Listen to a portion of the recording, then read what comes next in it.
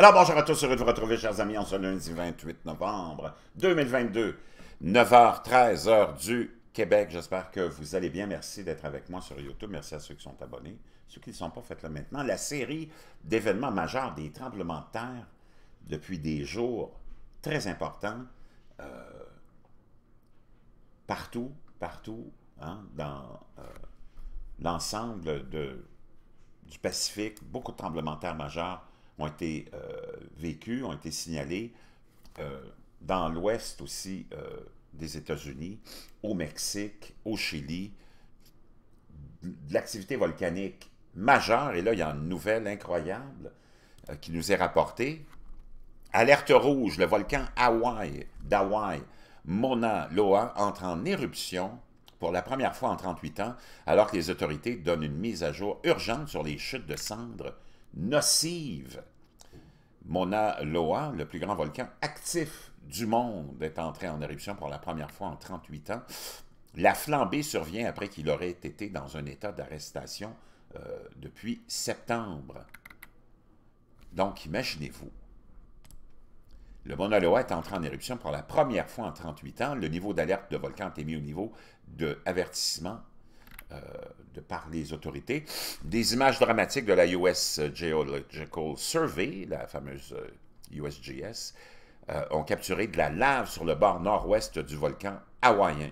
Les niveaux d'alerte du volcan, du volcan, le niveau d'alerte est passé de conseil à avertissement. Certaines parties d'Hawaï faisant ou faisaient l'objet d'un avis de chute de cendres émis par le National Weather Service à Honolulu. Les responsables ont déclaré que l'éruption ne menaçait probablement pas les communautés à ce stade-ci. Mais ils ont averti, sur la base des événements passés, les premiers stades d'une éruption du Mauna Loa peuvent être très dynamiques et l'enclassement et l'avancée des coulées de lave peuvent changer euh, rapidement. Donc, il y a eu plusieurs dizaines de tremblements de terre qui ont été enregistrés en deux heures. Et l'un d'eux mesurait 4,2 sur l'échelle de Richter, ça c'est le US Sun qui nous rapporte ça pendant ce temps-là. Le Hawaii News Now euh, nous dit que le comté ouvre des abris alors que les habitants de South Kona s'auto-évacuent. Les scientifiques de l'Observatoire du volcan hawaïen ont déclaré que l'éruption a commencé vers 23h30 dimanche euh, et euh, va se poursuivre. Hein. on ne sait pas pendant combien de temps, mais très, très inquiétant pour les résidents, mais c'est le volcan le plus actif au monde.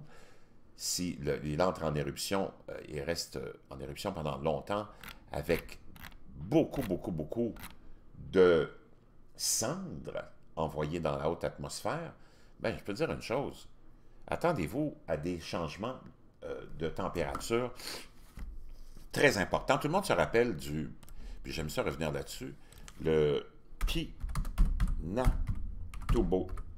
Hein? L'éruption qui avait, euh, qui avait changé quand même euh, la température de la planète pendant euh, l'été de, 1991. On va aller voir ça. 1991, si ma mémoire est fidèle. Le Pinatubo est un stratovolcan actif situé dans l'ouest de l'île de Luçon, aux Philippines, à moins d'une centaine de kilomètres au nord-ouest de la capitale. Cette éruption volcanique, le 2 septembre 91, est l'une des plus importantes du 20e siècle avec des conséquences, on a eu des conséquences à l'échelle planétaire. Le volume de matériaux émis était estimé à 10 km, dont une grande partie était éjectée dans l'atmosphère, provoquant un refroidissement général d'environ un demi-degré de moyenne pendant un à deux ans.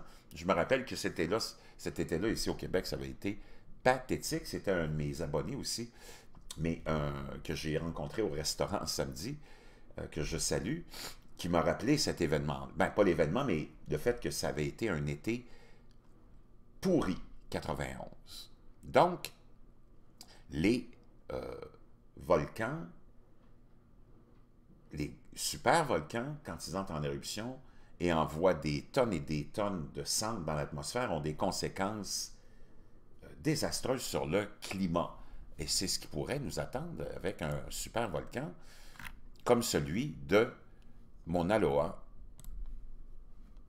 à Hawaï. Le plus grand volcan actif du monde nous rapporte le Daily Mail.